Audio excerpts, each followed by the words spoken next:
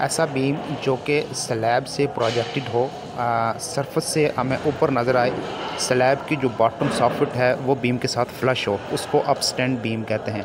ये जैसे हमारे बिल्डिंग में रैंप है तो रैंप में जो क्लियर हाइट है आर्किटेक्चरल रीज़न वजह से की रीज़न से हम जो है ना इसको अप स्टैंड बीम प्रोवाइड किया है। यहाँ से जो क्लियर हाइट है, वो हमें मिल नहीं रही थी, अगर हम यहाँ पे लटक वाला बीम प्रोवाइड करते। तो इसका जो लोड ट्रांसफ़र मेकनिज़म होता है स्लैब का, वो वही है जो हमारा दूसरे बीम के साथ है। जस्ट हम आर्किटेक्चरल या सम अदर रीज़न की वजह से हम इसको प्रोजेक्ट करते हैं और इसको, इसका नाम अप स्टैंड बीम है।